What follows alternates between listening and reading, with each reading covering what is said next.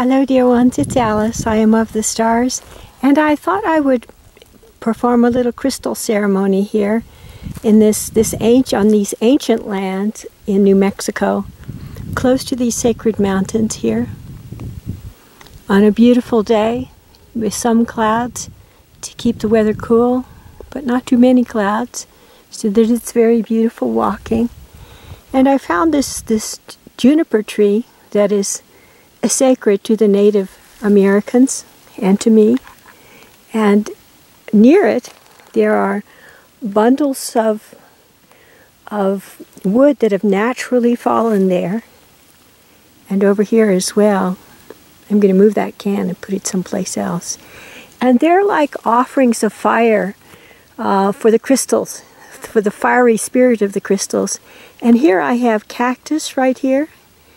Um, the cactus is is is my defense for this for this beautiful sacred ceremony and this beautiful place. And so I have offerings, uh, natural offerings. I have protection, and I have the the um, energy of healing from the juniper tree un, under these sacred skies. And so that's my location. Now let me move that let me move that can and take it out of here. So here I have right next to my sacred spot, I have another kind of cactus for protection and a juniper all around, baby juniper trees here and there for, for new sacred healing energy. And this is the spot that I've chosen right here. Let's see. Um, I have I brought four crystals for the different directions. Now you see, you can see where my where the shadow goes. See here, there the shadow goes. Where the shadow goes is north. So to the north, I am placing one crystal. To the south, where the sun is, I am placing another crystal actually should go right about here because the noonday sun has gone on. And then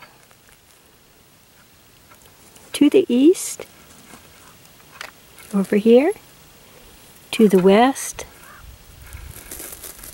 over here, and right in the center, a beautiful crystal with the most facets, I think, Yes, the most facets facing the noonday sun. So there's my crystal offering. North and on the south and on the east and on the west, I, I ask the divine to honor and uplift the energy of all the cities of earth in such a way that it may express itself just as these beautiful crystals do, with clarity, with the beauty of the sunlight within them, and with the healing energy of the natural world all around them. By God's grace, may this be so, that all the cities of earth may be healed, that the Devic world may once more find its home in, above, and around the cities so that they may find themselves once more in balance with nature.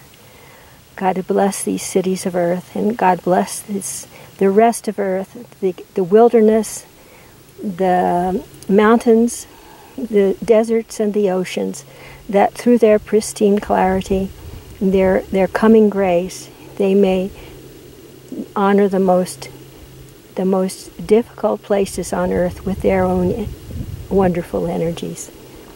Amen.